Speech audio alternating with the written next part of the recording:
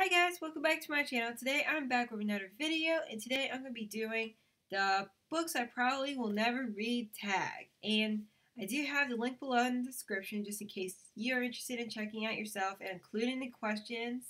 So getting started with the questions is the first one, a really hyped book you're not interested in reading.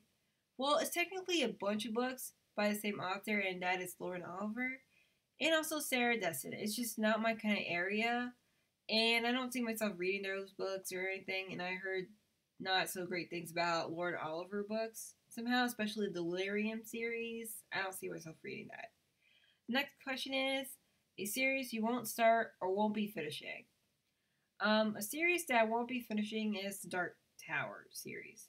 I started the first book. I tried reading it. I didn't even finish it because I was so bored and just wanted to get it done.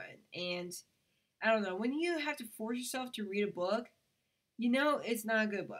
So I don't know. I mean, I don't know if it's like pretty much a way telling me that Stephen King writes really boring books or it's just this book. But I might give him another try, but this book, Gunslinger, totally disappointment. Anyway, Next question is a classic that you're just not interested in. I'm not interested in reading any Jane Austen books anytime soon.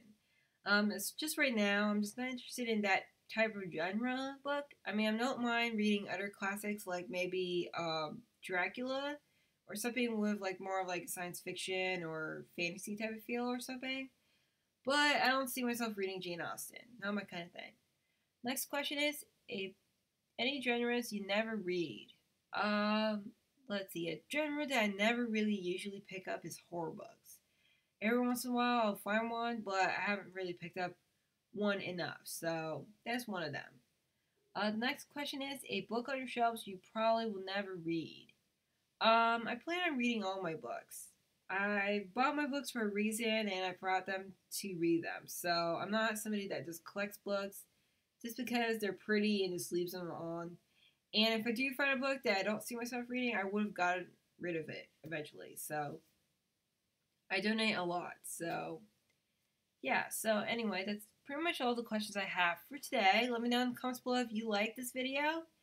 And uh, if you want to see more book tags and see more book reviews, I have one coming up that is all about The Last Magician coming up soon. And also a review on the show Shadowhunters Season 1 and 2. So do subscribe to see that. So until next time, keep on reading.